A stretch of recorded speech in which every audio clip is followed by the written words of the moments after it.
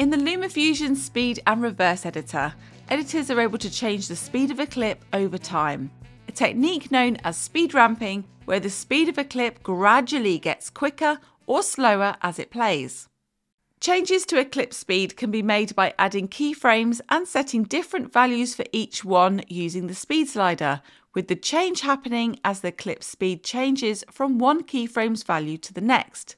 However, for a quick way to add a speed ramp to your clip without doing any of the manual work down here, simply tap the speed preset icons at the top right of your screen, where you'll find a variety of presets ready for you to use.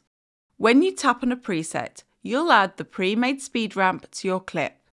By opening the Ease Editor, you'll see a visual representation of the speed changes within the preset in the ease graph. The steeper the slope going in and out of the keyframes, the faster the rate of change. You can see here that the visuals on the preset thumbnails are representative of how the preset looks in the ease graph. Use this to help you choose the perfect speed ramp for your clip.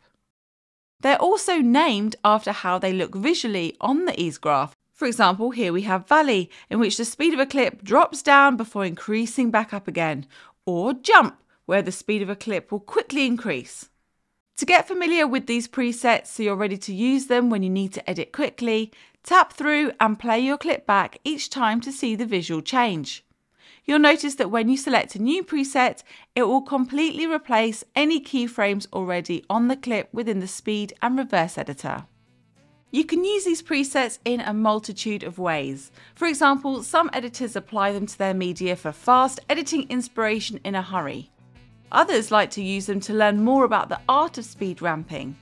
And many like to use them as a base to form their own speed ramps, changing the values stored within them, like the speed values, or the position of the keyframes.